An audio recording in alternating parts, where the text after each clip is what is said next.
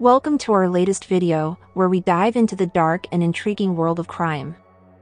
Today, we're taking a closer look at the top 10 criminals from the state of South Carolina. From notorious gangsters to infamous serial killers, this list showcases some of the most notorious individuals to ever call the Palmetto State their home. Whether you're a history buff, true crime enthusiast, or just looking to broaden your knowledge, this video is for you. So sit back, relax, and get ready to learn about some of the most dangerous individuals from South Carolina. But before we get started, please make sure to subscribe and hit the bell icon to be notified about our amazing upcoming informative videos. Now sit back, relax and let's go. At number 10 we have Vincent Filyaw. Filyaw is a former South Carolina man who gained notoriety for his criminal activities in the mid-2000s. In 2006, he was charged with kidnapping and repeatedly raping a 14-year-old girl who he held captive in a homemade bunker for 10 days. He was eventually caught and sentenced to 421 years in prison without the possibility of parole.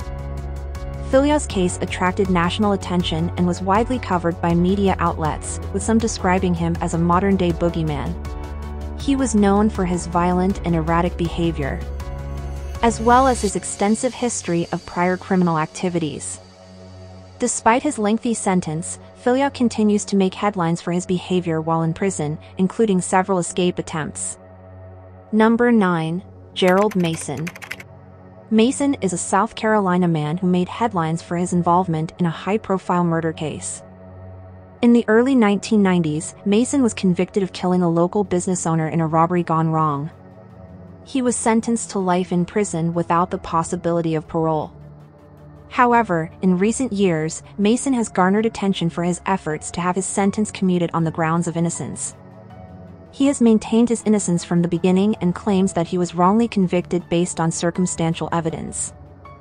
Mason's case has become a cause célèbre among certain groups who believe in prison reform and the fight against wrongful convictions. Number 8. Velma Barfield he was a serial killer from South Carolina who was active in the 1970s. She was convicted of poisoning several of her loved ones, including her mother, her boyfriend, and her fiancé, in order to collect life insurance money. She was known for her quiet demeanor and her ability to manipulate those around her, which made her crimes all the more shocking.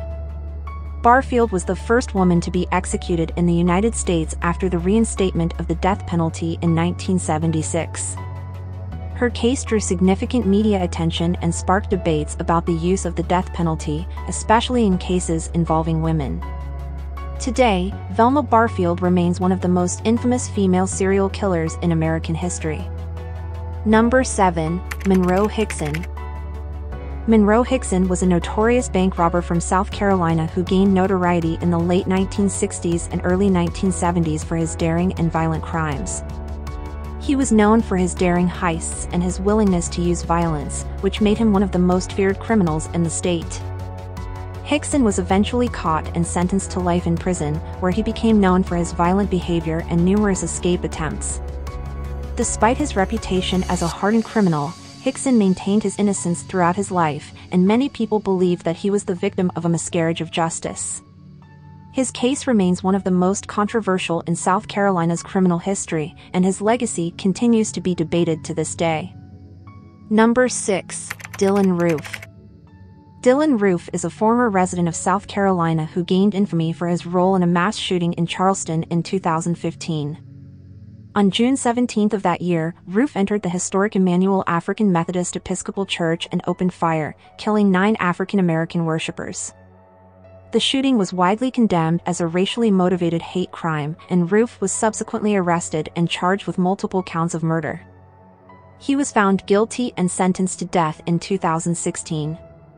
Roof's case drew national attention and sparked debates about racial tensions and the availability of firearms in the United States. He remains one of the most notorious mass shooters in American history and his actions continue to be studied as an example of hate-fueled violence. At number 5 we have Tiffany Cole. He is a former South Carolina resident who was involved in a high-profile murder case in the early 2000s. Cole was convicted of participating in a plot to kill a wealthy Florida couple in order to collect their life insurance money. She was sentenced to life in prison without the possibility of parole. During her trial, Cole was described as a manipulative and cunning individual who used her charm and beauty to get what she wanted. Her case attracted significant media attention and was widely covered by news outlets. Today, Cole remains behind bars, serving her life sentence for her role in the gruesome murders. Number 4. Ellsworth Raymond Johnson he is better known as Bumpy Johnson, was a notorious American gangster who operated in Harlem, New York City during the mid-20th century. He was born in Charleston, South Carolina in 1905. Johnson gained his nickname Bumpy due to a bump on his forehead and was known for his involvement in organized crime, including bootlegging and gambling. He was a close associate of infamous crime boss, Lucky Luciano, and his criminal empire was the subject of several police investigations. Johnson died in 1968, but his legacy as one of the most powerful and charismatic black gangsters in American history continues to this day. Number 3. Walter Scott Scott was a South Carolina resident who was shot and killed by a North Charleston police officer in 2015. The shooting was captured on video and sparked nationwide outrage, as it appeared to show the officer shooting Scott multiple times in the back as he ran away. The incident was widely seen as an example of police brutality and sparked widespread protests and calls for reform. Scott's death was a major turning point in the ongoing national conversation about police violence and the use of force against black Americans. His case also prompted changes in South Carolina's laws and police policies, including the introduction of body cameras for police officers.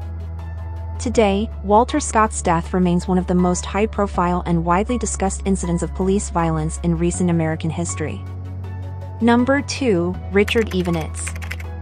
Richard Evonitz was a South Carolina resident who gained notoriety as a serial rapist and killer in the late 1990s. He was believed to have committed multiple sexual assaults and murders in Virginia, Maryland, and South Carolina and was one of the most wanted fugitives in the United States at the time of his capture. Evonitz was eventually caught in 2002 and was sentenced to multiple life sentences for his crimes. He committed suicide in prison the following year.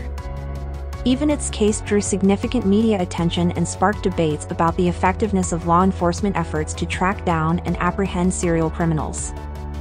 Today, he remains one of the most notorious serial killers in recent American history and his legacy continues to be studied by criminologists and law enforcement officials. And at number 1 we have Todd Kohlhepp. Kohlhepp was a South Carolina resident who gained notoriety as a serial killer and rapist in the early 2000s. He was arrested in 2016 after a woman was found chained in a shipping container on his property. Further investigation revealed that Kohlhepp had committed multiple murders, including a mass shooting at a motorcycle shop that left seven people dead. He was sentenced to life in prison without the possibility of parole. Kohlhepp's case drew widespread media attention and was widely covered by news outlets. He was described as a highly intelligent individual who used his cunning and charm to hide his criminal activities. Today, Kohlhepp remains behind bars, serving his life sentence for his crimes. And that brings us to the end of our top 10 criminals from South Carolina video. We hope you enjoyed this journey through the state's dark criminal history and learned something new along the way. From the notorious Bumpy Johnson to the cunning serial killer, Donald Henry Gaskins, these individuals have left an indelible mark on the state's criminal history. Remember, this video is for educational and entertainment purposes only and does not condone or glorify criminal behavior. Thanks for watching, and we'll see you in the next video.